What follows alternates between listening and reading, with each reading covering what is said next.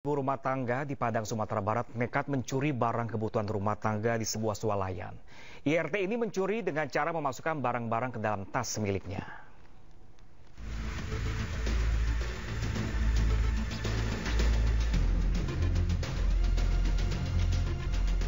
Seorang ibu rumah tangga tertangkap basah mencuri di salah satu swalayan di Kecamatan Padang Timur, Kota Padang, Sumatera Barat. Modus IRT mencuri dengan berpura-pura membeli barang belanjaan. IRT lalu mencari tempat sepi untuk memasukkan barang yang diambil ke dalam tas yang dibawanya. Tanpa ia sadari, aksi yang dilakukan berulang kali itu terekam kamera pengawas. Saat Anda keluar, wanita parubaya tersebut dihadang petugas keamanan swalayan yang sudah menantinya. Ketika diperiksa, didapati sejumlah kebutuhan rumah tangga berupa minyak goreng, telur, buah yang disembunyikan di dalam tas. Petugas kepolisian yang datang ke TKP langsung mengintegrasi dan memboyong pencuri ke Mapolresta Padang guna mempertanggungjawabkan perbuatannya.